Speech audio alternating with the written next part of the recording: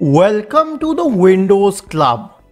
If you encounter the error where Windows 10 is checking for updates and it's taking forever, then either read through this article on the Windows Club, the link has been shared in the description section or simply watch this video, I'll guide you through the resolution. First of all, you need to exit settings and restart your computer and then you would have to clear the contents of the software distribution and the cat 2 folders. I'll show their location. Software distribution is in C drive, Windows, and the cat2 folder is in C drive, Windows, System 32. However, I cannot delete the contents of these two folders directly. So first of all, I would have to stop a few services. The first service to be stopped is the Windows Update service. So I'll copy this command and then I'll search for command prompt in the Windows search bar.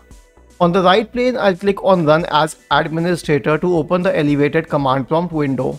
I stop this service by pasting this command line. Next, I will change the last few words of this command line to BITS for Background Intelligence Transfer Service. I'll copy it and paste it in the elevated command prompt window. Hit enter, the BITS service has been stopped and the last one is the cryptographic service. For this, the command is similar. However, you have to change the suffix by this one which says CRYPTSVC and then we will copy it and then we will paste it here and then we will hit enter and the cryptographic service is stopping. Once this is done, we can delete the contents of the software distribution folder and hit delete and then click on continue it will need a few seconds and similarly for the cat2 folder, I'll select the content, I'll hit delete and then I'll click on continue and then it will start deleting it. I'll say do it for all the current items and then it will delete it. Once this is done, now we need to use the Windows Update service.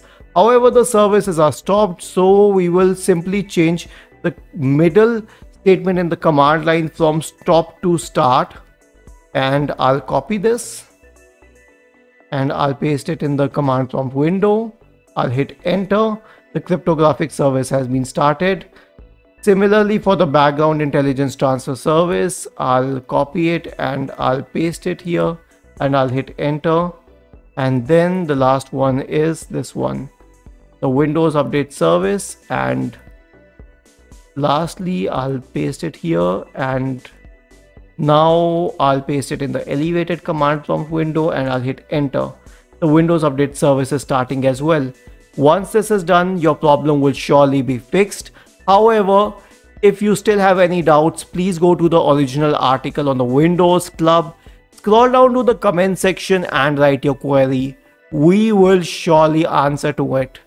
Do not forget to subscribe to the channel Thank you for watching this video and have a nice day.